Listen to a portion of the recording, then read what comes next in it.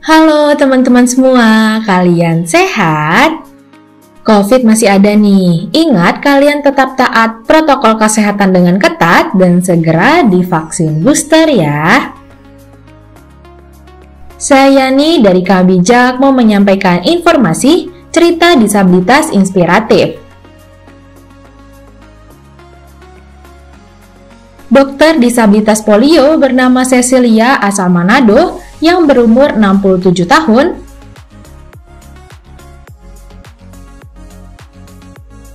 ini sukses menjadi Ketua Satu Ikatan Dokter Indonesia Wilayah DKI Jakarta sekaligus Ketua IDI Cabang Jakarta Barat dan masih aktif berorganisasi.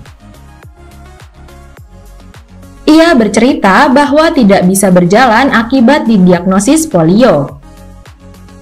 Penyakit ini tertular virus dari sepupunya saat berumur 1 tahun 9 bulan. Ia mendadak kejang hingga demam tinggi nyaris 40 derajat. Saat itu vaksin polio belum ada. Lalu ia dibawa ke fisioterapi untuk pertolongan pertama,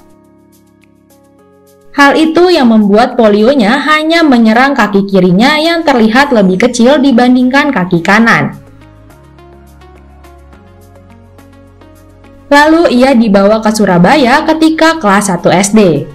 Akhirnya ia dapat pelatihan seperti latihan berjalan agar otot kakinya bisa berfungsi.